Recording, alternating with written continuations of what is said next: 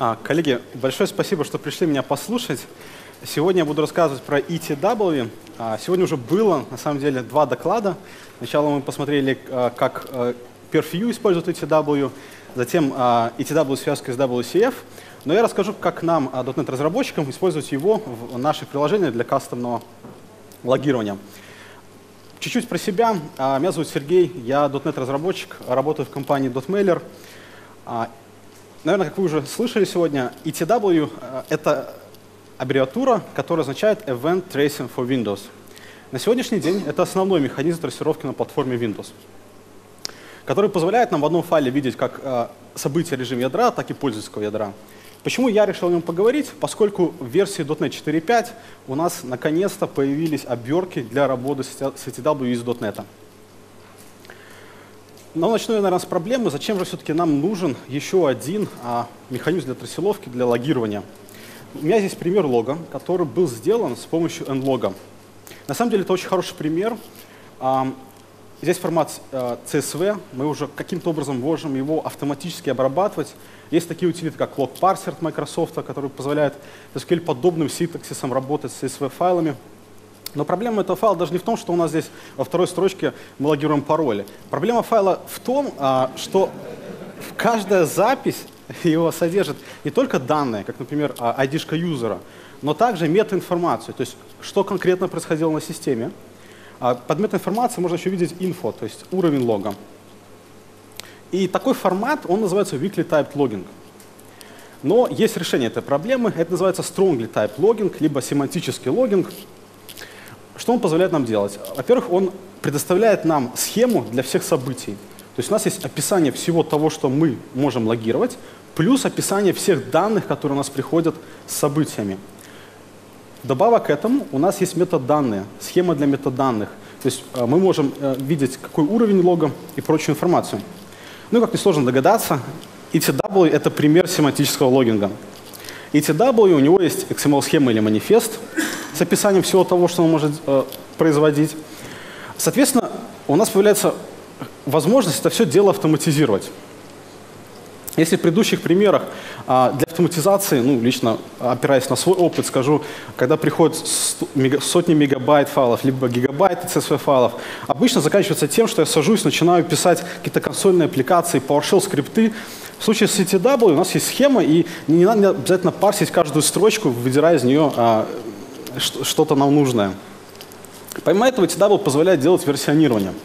Допустим, одновременно в продакшене у нас находятся а, две версии продукта. И все две они отправляют логи. Как с этим бороться?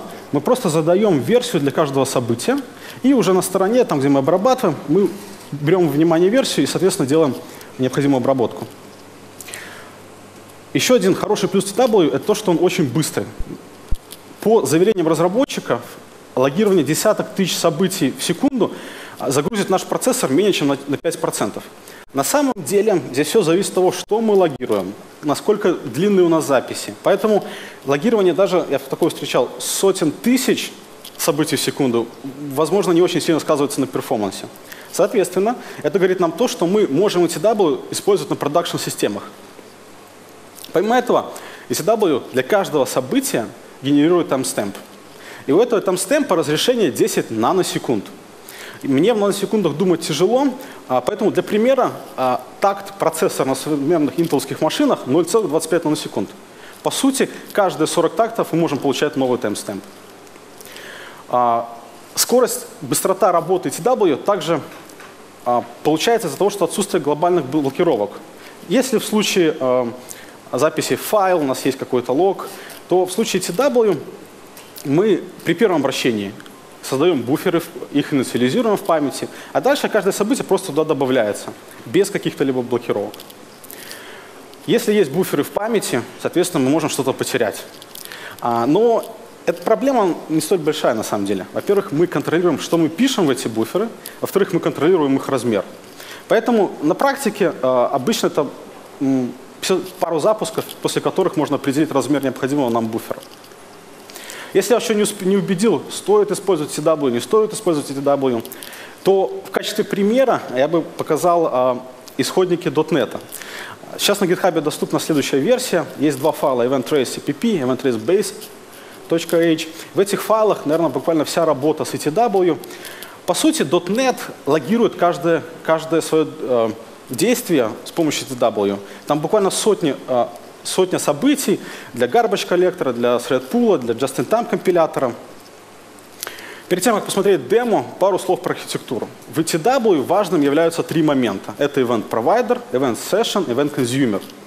Сверху красненьким Event Source, Trace Event Session и Trace Event Source — это э, имена классов из .NET, которые реализуют конкрет, как, выступают как обертки для конкретных э, сущностей из, из архитектуры. Значит, а что такое провайдер? По сути, провайдер — это то, что мы у себя в приложении должны реализовать, чтобы отправлять события. То есть он отправляет события, он вызывает ETW API, но его свойство такое очень важное, то, что он должен быть, иметь уникальный ID. То есть все провайдеры на системе должны иметь свой ID. Гуиды запоминать на самом деле очень тяжело, по крайней мере для меня. Поэтому есть такой хороший RFC, называется 4122. Этот RFC говорит, что если у вас есть имя, из вот этого имени можно сделать GUID. Если же мы будем следовать конвенции имя э, нашей компании, имя продукта, имя логера, то есть сделать его уникальным, то в этом случае вот благодаря FSC 4122 мы сможем получать уникальные ID. Следующий момент – это Event Session. На самом деле Event Session – это центральный э, компонент всей системы. То есть она управляет логированием. Она его начинает, она его устанавливает, она говорит, что мы хотим логировать. То есть с помощью нее мы можем сказать, из так такого-то провайдера мы хотим записывать только события начала транзакции, открытия страницы, только эти два события. Вот это все позволяет делать Event Session. Ну и такой последняя ее э, возможность, это она определяет, куда писать логи. Логи можем писать либо в файл, кольцевой буфер, либо на диск. А, тоже поддерживаются кольцевые буферы. Ну и последний компонент, Event Consumer. Наверное, здесь уже э, очевидно, что он обрабатывает логи. А, то есть его задачу входит вычитать логи, как-то а, сагрегировать и предоставить нам те данные, ради которых мы, собственно, запускали весь логинг. Если посмотреть, как это взаимодействует, то для логирования нам необходимо, по сути, Event Session и Event Provider. Больше ничего. Event-сессия все это дело включает. Важный момент. Пока event-сессия не добавила провайдер, провайдер событий не посылает. По сути, если нас никто не слушает, мы не платим никакие э, своей производительностью за то, что у нас в программе есть э, ETW. Ну а потом event provider пишет, файл, пишет данные в файл либо в память. На практике event provider и event session могут быть как разные приложения, так и входить в состав одного приложения. Ну и последний момент – это то, как все-таки происходит обработка. Обработка происходит так, что мы берем consumer, передаем ему файл, в котором лежат наши события. События и вообще сам файл – это бинарный формат, поэтому для его десериализации нужна схема. Откуда взять схему? Есть два варианта. Первый вариант – каждый провайдер схему может зарегистрировать на, в системе. Проблема в том, что при следующем деплое, по следу, следующих деплоях нашего приложения нам придется перерегистрировать провайдер каждый раз. Это, наверное, не совсем удобно, а, поэтому есть второй вариант, а, динамические провайдеры. На самом деле второй вариант – это основной вариант в .NET. А, по нему первое событие, которое отправляет .NET провайдер, это отправить свой манифест. По сути, в .NET в файле с логами у нас также первым событием будет лежать манифест. Сейчас мы перейдем к примерам. А, например, я покажу, как использовать .NET API для ETW, как логировать наши кастомные логи с помощью Perfue, а, как использовать Microsoft Diagnostic Tracing Logging. А, эта библиотека, по факту это исполняемый файл, разрабатывался командой Bing и позволяет логировать ивенты в консоль в режиме реального времени. После этого мы глянем на SLAB, Semantic Login Application Block, который является частью Enterprise Library и который заточен под работу с ETW. Ну и в конце мы посмотрим разницу между out-of-process логированием и in-process логированием. Давайте посмотрим наши примеры.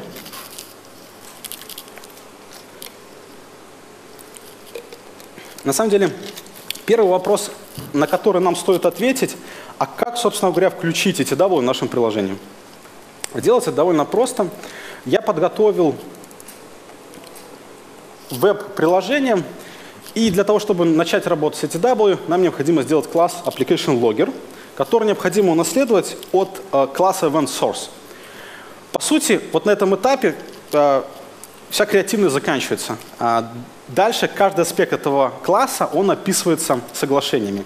И по соглашению мы должны задать а, нашему логеру ID-шку либо имя. Делаем это через атрибут.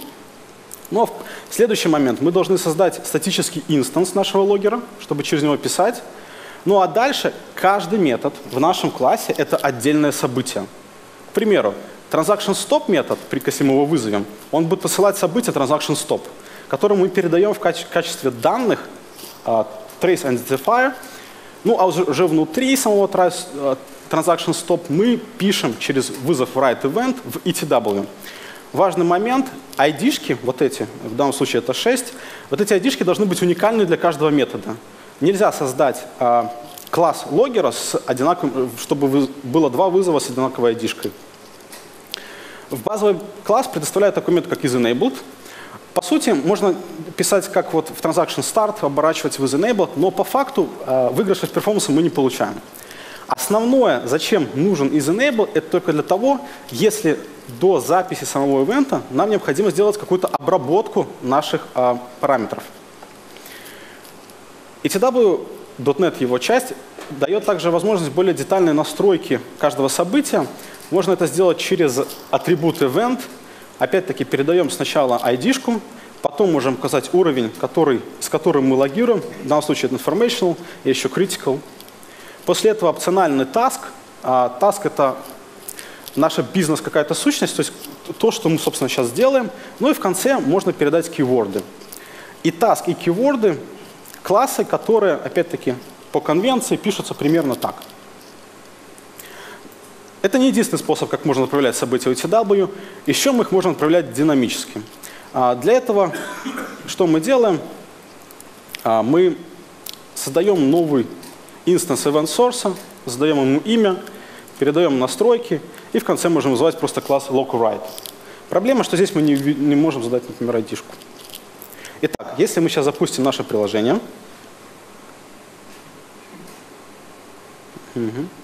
оно работает, возвращает какие-то данные. Следующий момент, который необходимо сделать, а как, собственно, из него уже начать получать события.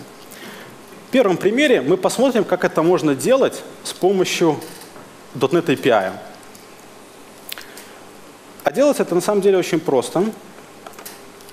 Нам необходимо инстанцировать класс TraceEventSession, передаем ему имя сессии, имя файла, куда мы хотим записывать наши логи. Затем включаем провайдер, передаем ему имя, и на этом все. Если мы сейчас это запустим, то происходит следующее. А наш веб пишет в ETW, а в консольной аппликации мы эти логи вычитываем. А при работе с ETW, при написании своих сессий, необходимо помнить, что они включаются на всю машину. Поэтому, если ваше приложение логер умирает, есть опасность не закрыть сессию. Но чтобы с этой проблемой хоть как-то справляться, есть такая утилита, называется logman. А если передать ETS query, она вернет все провайдеры, которые в данный момент запущены. А вот здесь вот мы можем видеть SPB Session, запущен в данный момент. Также мы можем знать детали нашей сессии. В деталях увидим, куда мы пишем на диске и какой логер у нас в данный момент включен. Давайте сделаем пару запросов, чтобы отправить события в наш файл. Обычно задержка а, от, собственно говоря, возникновения события до его появления а, в логере составляет пару секунд, 3-5 секунд. Я думаю, достаточно. Закрываем наше приложение. Закрыли. Что мы видим на диске? На диске появился новый файл. Называется output.etl с размером 1 мегабайт. Помимо этого, .NET API позволяет также ивенты обрабатывать. Что делаем? Инстанцируем класс EventSource, передаем ему имя файла, подписываемся на все динамические провайдеры, на все события, и в методе printEvent Мы на экран выводим имя нашего события, выводим а, также данные, в которые в нем есть. Можем взять имя. Ну и в конце выводим а, timestamp от начала трейса. Если это дело запустить, что мы видим на экране? На экране мы видим все наши а, логи. Плюс первое, что здесь в самом верху есть, это манифест дата. То есть тот манифест, который .NET отправил в файл. На самом деле, использование .NET API, оно не всегда удобно. Поэтому во втором примере я покажу, как можно использовать perfview для логирования. Я подготовил файлик collect.bat, это скрипт. Что он делает? Он запускает perfview, передает с командой collect а, и включает один провайдер, только один, а, наш провайдер, company name, product uplogger. Стоит заметить, что есть здесь звездочка, и эта звездочка говорит о том, что сгенерируй, пожалуйста, из имени нашего провайдера его id -шку. Также мы здесь задаем размер буфера. Если сейчас это запустить, откроется перфью, он начал логировать, время отправлять события.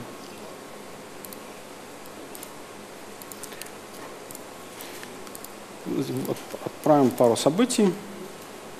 Давайте еще чуть-чуть. Я думаю, хватит. Чтобы завершить логирование, а, необходимо нажать S, нажимаем S. Лог сохраняется на диск, сохранился. Давайте посмотрим, что получилось. А, что получилось? На диске появился файлик 3 а, мегабайта с, с именем, имя моей машины, текущее время. Его теперь можно открыть с помощью Perfume. Я думаю, за сегодня те, кто был на предыдущих докладах, уже привыкли к инженерному виду Perfview, к его инженерному интерфейсу. А, я бы лучше не сделал, если честно признаться. Что, какой вообще у него интерфейс? Слева у нас какие-то репорты, а, их можно открыть. Первое, что мы откроем, это Event Stats.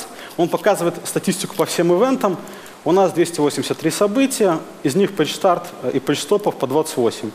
А, что наводит на мысль, что все события завершились, что все э, реквесты завершились. Но то, на что мы посмотрим, это на самом деле ивенты. У ивентов в репорте ивенты слева все включенные провайдеры и полученные ивенты. Здесь будет отображаться а, данные, а сверху панель для фильтрации. То есть если мы выберем все наши события, то вот здесь вот в данных мы э, можем их все посмотреть, плюс все данные. Помимо этого, Perfview еще позволяет нам выбрать те колонки, которые мы хотим видеть. Мы хотим посмотреть Activity ID, к примеру, URL, username, а также все оставшиеся колонки. Нажмем Enter. Что Perfview делает для нас? Он э, создает колонки из тех что, данных, что мы выбрали. Я не упомянул про такую хорошую, клевую штуку Perfview, как э, Activity ID. Пару слов о ней. То есть Activity ID — это реализация паттерна Correlation ID, его суть очень простая. Допустим, мы логируем что-то на веб-сайте, у нас есть много реквестов одновременно от разных пользователей, и получается, что каждому в реквесте мы создаем новый page start события. Чтобы эти события соотносить в одну сессию, используется Activity ID. Здесь видно, что у этих событий Activity ID 1 23, что говорит, что они принадлежат к одной сессии. Помимо этого, Perfview э, настолько умен, что позволяет э, даже показывать а, со стоп-событием продолжительность его, duration millisecond. На самом деле Perfview хорош всем. Для анализа логов что нам нужно? Нам нужна фильтрация, нам нужна сортировка, какая-то простейшая агрегация. Единственное, чем Perfview не хорош, это в нем нету графиков. Не считая вот этой гистограммы сверху, которая показывает плотность ивентов во время трейса. Чтобы строить графики, чтобы их делать, я бы предложил воспользоваться другой утилитой, она называется Windows Performance Analyzer. Windows Performance Analyzer входит в состав Windows Performance Toolkit. А его основная задача – это помогать системным администраторам программистам находить проблемы с производительностью на их машинах.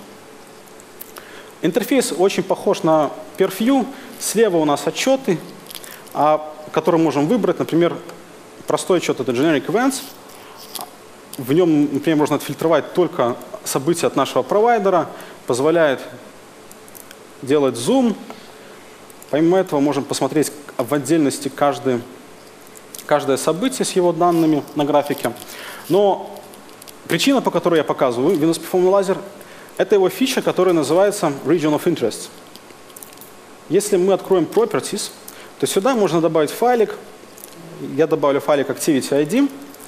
А что это за файл? Это XML-файл. Его основная задача а, сказать Windows Performance Analyzer, какие регионы нам интересны. Каждый регион определяется по старт-ивенту, в нашем случае ID 1 – это page start, по стоп-ивенту, в нашем случае это ID 2 – page stop, а также то, как события будут соотноситься. Я выбрал Activity ID, у них должно совпадать. Также можно задавать под регионы. Если этот файлик добавить, то у нас появится новое, новый отчет. Он называется Region of Interest. Что он себя представляет? А, он представляет на самом деле состоит из нескольких. А, давайте что-нибудь выберем. Например, вот так. Зазумируем. Оп. То есть первое, что он показывает, это все реквесты, которые происходили. Вот это все реквесты, которые у нас были. Мы можем уйти чуть-чуть ниже и посмотреть, что из этих реквестов было э, взятие имени юзера, а что было э, сама выполнение транзакции. Ну, уже вот это добавляет чуть больше э, графиков и, в принципе, очень полезно, если помимо пользовательских событий. Мы сюда выведем события от garbage коллектора, такие как остановка а, всего а, приложения для очистки мусора. То, что я сейчас сказал на примерах, это уже обработка, работа с файлами. А, а что делать, если, бы, если нам хочется смотреть события в режиме реального времени? Для этого есть специальная утилита, она называется ELT. Давайте ее запустим. Что я здесь делаю? А, есть LT, а, принимает параметр А, в котором мы задаем ID-шку нашего провайдера. Если сейчас это дело запустить, то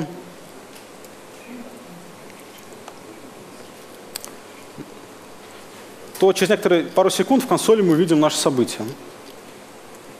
Помимо этого, ELT также позволяет фильтровать события, которые она получает. Этот пример чуть более интересен. Что я здесь делаю? А, вот эта ID-шка – это стандартный дотнетовский провайдер, который внутри ЦЛА. Дальше мы говорим, что из этого провайдера мы хотим события а, с, а, с уровнем warning, и у которых keyword равен 8000. В эту всю информацию можно найти на MSDN. Keyword, keyword 8000 означает exception. Ну и в конце мы говорим, что из того, что ты получишь, пожалуйста, отфильтруй и покажи нам только Web App Custom Exceptions. Все очень просто. А, давайте запустим. Мы его запустили. Зайдем на наш второй а, метод, error, выполним. И что мы увидим? Мы увидели одно сообщение. А, и здесь можно обратить внимание, exception message 42, а exception type web app custom exception. Если вернуться в наше приложение и посмотреть на наш контроллер, то в контроллере error, в методе error мы берем, вызываем getRandomNumber, в который мы бросаем exception 42.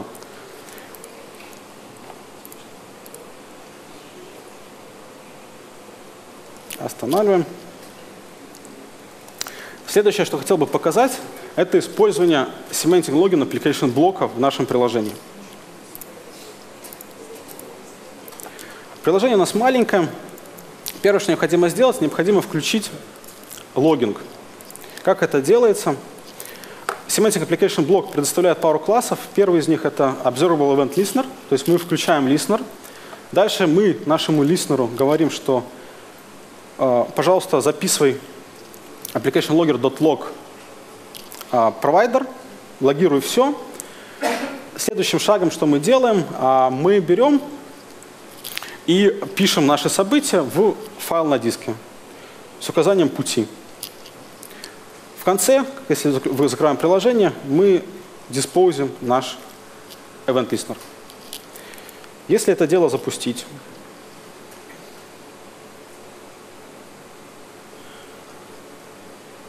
да, запущен, вернуться на наш сайт, повыполнять, подправлять события, то через какое-то время на диске мы увидим новый файлик. Он называется logs.txt. И этот файлик пишет наша веб-аппликация. То есть сейчас, по сути, наше приложение работает, а, как будто бы с nlog, который пишет файл. Можем посмотреть, что внутри. Внутри, как и ожидалось, наши ивенты. Плюс этого подхода нам не нужны сторонние приложения, мы просто пишем файл. Минус этого подхода. На самом деле этот подход называется in-process logging, когда мы логируем три процесса. Его основной минус, если процесс умирает, мы, возможно, потеряем события. Как от этого исправиться, как этого избавиться? А, запускаем опять приложение, комментируем запись файл. Чтобы от этого избавиться, нам нужно делать логирование out of process. То есть запустить какой-то новый процесс, который бы эти логи сам писал. Для этого в Semantic Login Application Block есть специальный сервис. Он так и называется, Semantic Login SVC. Это Windows сервис, который можно либо установить в систему, либо запускать из консоли. Его задача именно делать out of login process, э, logging out of process. Э, давайте посмотрим его конфиг. В его конфиге на самом деле важным является только одна строчка, в которой мы указываем, откуда брать информацию о наших синках. А синки в терминологии Semantic Login Application блока — это те а, таргеты, в куда мы пишем наши события.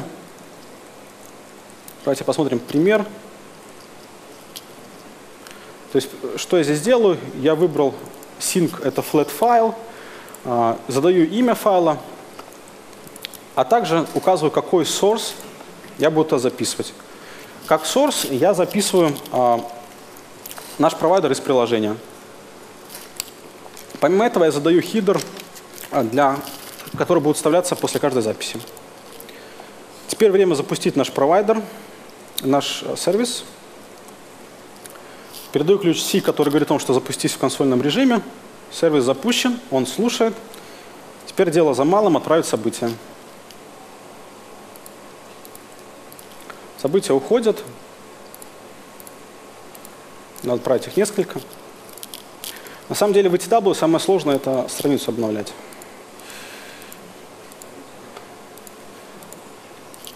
Я думаю, достаточно. Нажимаем Enter, смотрим. А, появился файлик semantic login svc runtime.log, как и ожидалось. Смотрим, что у него есть внутри. А внутри наше событие с хидром. Это пример out of, out of process логирования. А, но у всех подходов, которые мы смотрели до сегодняшнего момента у них было все, у всех одна такая а, проблема. Они все логируют на той же машине.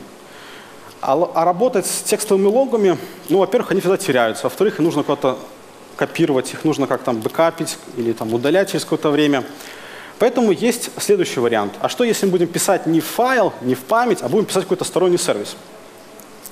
Под определение стороннего сервиса очень хорошо подходит Elasticsearch. А, что я сейчас сделаю? Я сейчас запущу докер-контейнер, два докер-контейнера, Elasticsearch и Kibana.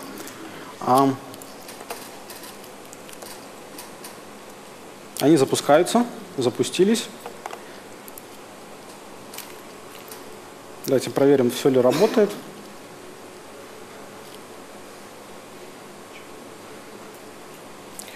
Буду надеяться, что все работает.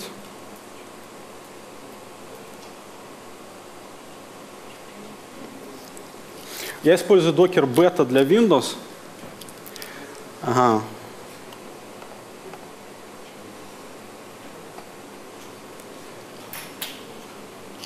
Что-то не срослось.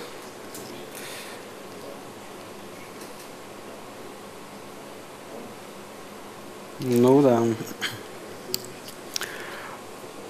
Пока оно запускается, давайте посмотрим, как необходимо изменить а, логи, для, а, как конфиги для нашего а, сервиса.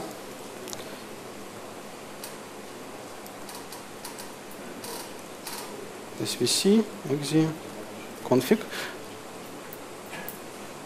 Cancel, oops. То есть, чтобы демо заработало, в нашем конфиге необходимо а, изменить файл с синками. Сохраняем. Вторым шагом необходимо, ну, я сейчас вам покажу, как выглядит логирование в Elasticsearch. Оно достаточно простое, а, то есть мы указываем connection string, В нашем случае на локальную машину. Ой. А, мы делаем это по IP-шнику. Ну и указываем наш а, логер. Так, давайте дадим еще один шанс. А еще лучше перезапустить, наверное.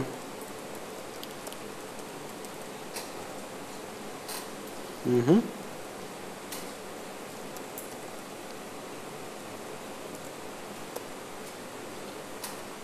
Проверяем, надеемся. Нет, не работает. А, я подготовил демо.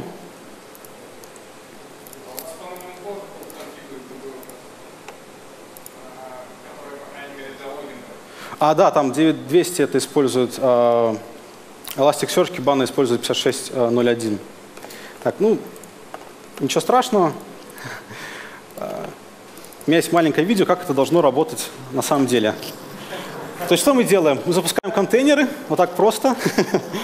А после этого идем, обновляем страничку, появляется а, Elasticsearch, интерфейс Kibana. Это все работает, действительно работает. А, после этого что мы делаем? Обновляем, инициализируется, появляются какие-то сообщения. Следующим этапом мы должны запустить наш сервис. Запускаем сервис, передаем C, запускаем в консоли, сервис запущен. Приходим к самой тяжелой части, отправляем ивенты, генерируем какие-то события. Сейчас что происходит? Веб-аппликация пишет в ETW, а, сервис из ETW вычитывает и отправляет по сети все в Elasticsearch для долговременного хранения. И через 4 года мы сможем это все прочитать, а не потерять. Верни, возвращаемся в Elasticsearch, обновляем страничку, и вот чудо, а, нам надо еще чуть больше ивентов. А, не успел наш сервис а, все записать, отправляем чуть больше ивентов, возвращаемся, опять обновляем страничку. Вот, появились новые события, вот они здесь. А, что позволяет делать Kibana? Я не специалист в Elasticsearch в Kibana, но она позволяет также э, выбирать определенные столбцы, которые мы хотим видеть. Мы их выбираем, что мы выбираем? Мы выбираем а, URL-адрес и также Trace ID, если я не ошибаюсь. Закрываем. Вот здесь вот видно, их, э, появились у нас две новые колонки. А, что хорошего, Elasticsearch это full text search. Мы можем также взять и отфильтровать, например, все по Event ID 1. Event ID 1 это page start. То есть сейчас на экране мы видим все события page start, которые у нас были в приложении. Вот так э, на практике это работает. А, да. На самом деле это было мое последнее демо. Пару слов как резюме по а, поводу ETW. Это семантический логинг, а семантический логинг это хорошо. Это возможность не писать каждый раз при анализе логов какие-то программы, какие-то скрипты. А зачастую при разработке софта а, лог сообщений меняются довольно часто. Кому-то не хватает данных для анализа багов, а, добавляются новые данные, удаляются старые, меняется а, лог сообщения. Эта штука работает очень быстро. Можно не бояться запускать ее на продакшене. Как я уже сказал, полная поддержка в .NET. У нас есть обертка для всех типов. На самом деле, уже в докладе про WCF сказали, что есть специальный NuGet пакет, для, который добавляет поддержку ETW. В NuGet пакете обычно самые последние изменения, которые со временем переходят в .NET Framework с новым релизом. Действительно, много уже утилит написано. А, из того, о чем я не рассказывал, но о чем стоит упомянуть, а, это, например, Chrome, а, команда Chrome использует ETW для логирования.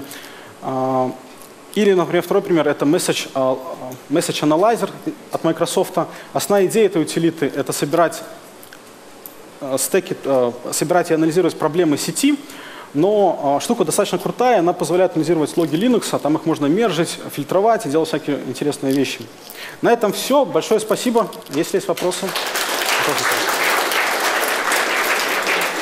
Да, у нас есть довольно много времени для вопросов, поэтому поднимайте руки. Микрофон. Я могу громко сказать. А на Linux это все работает? Linux все работает. А, на самом деле это хороший вопрос в том плане, что а, даже было такое обсуждение а, на GitHub, на Cosila, а как, собственно, вот это все запустить на Linux?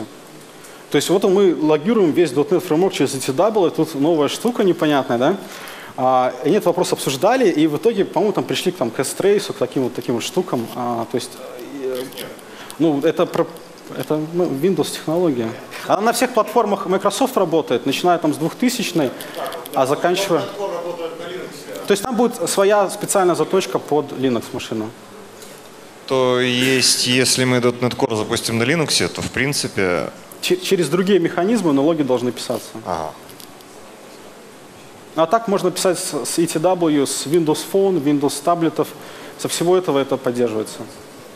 У меня два вопросика. А, то есть вместо того, чтобы читать из Event Viewer, мы можем через э, ETW перехватывать все эти стандартные ивенты, да, которые операционка делает, угу. да, и себе записывать. Угу. Правильно ну, я понял? Тут, наверное, мне кажется, немножко... Ну, ну можно, сути, ли так, можно ли так сделать? По сути, можно, но мне кажется, Event Viewer не предназначен для такого количества событий. То есть он все-таки, если у нас более разумное количество событий отправляется. То есть да, можно писать в Event Viewer. Не, но все эти события я в любом случае смогу перехватить. Да, да, да, все, все со всей системы. А, нужен админский доступ, по-моему, в большинстве случаев, чтобы запускать W. Но все события перехватить можно, да. А можно ли, а генерирует ли, допустим, firewall, ага. да, э, установку соединения, ну, установку соединения? Да, это можно там вручную настроить, он там в свой файл будет писать, а через ETW можно это прихватить? Он будет отдавать такое вообще в ETW? То есть тут вопрос на самом деле сводится к тому, а, реализовал ли это на стороне фаервола. Если у них провайдер, есть ли у них для этого специальный ивент. Да. А, та команда logman, она, если ее запустить logman э, пробел providers, она вернет все провайдеры, зарегистрированные на системе. У меня на машине их там пару тысяч. То есть я бы сказал, что очень большая вероятность, что какое-то событие есть специально заточенное под это. На память я, к сожалению, не скажу. А с какой э, версии Windows э, сервера начали поддерживать этот? И тогда появилось 2000, но с каждым выходом версии все улучшается, улучшается. То есть 16, 12, 8 сервера, там это уже все есть, можно использовать. Есть там проблемы с другими вещами, но просто ивенты получить получится.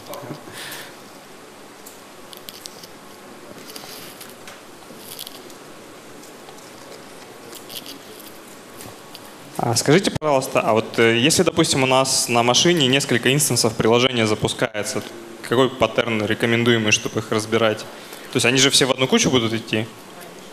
Да, а, по факту да. То есть у них будет один и тот же id провайдера, у них будут одни и те же имена событий. Единственное, что их будет отличать, это id а, процесса, от которого они идут. Собственно, на основании ее можно делать фильтрацию из разных процессов.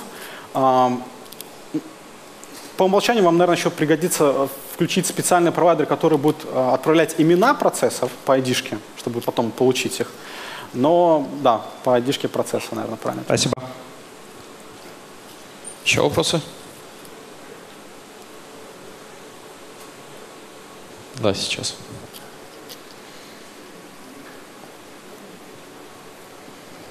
А, а в плюсах какая-нибудь поддержка есть?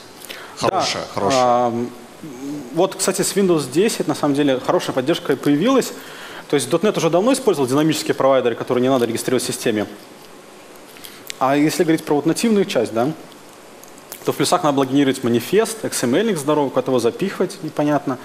А, и вот в десятке появились так называемый трейс, по-моему, логик называется механизм, который специально заточен на генерацию динамических событий. То есть там буквально пару строчек и уже появляется. Вообще это такое рождение нативного мира. Еще один вопрос. А, а насколько гибко можно настраивать фильтры, да. Да, чтобы выхватывать из всего вот этого потока только, только нужные тебе ивенты? То есть фильтры на что мы можем задать? Можем задать фильтры, а, вообще включить логирование по ID провайдера, по уровню, informational, critical, warning и так далее, по кейворду, по таску, то есть вот по этим всем штукам, которые отправляются вместе в метод данных. Сама фильтрация, вот в примере, когда мы фильтровали по названию exception, эта фильтрация уже происходит внутри самого э, консюмера. То есть это, а вообще так только вот по метаданным.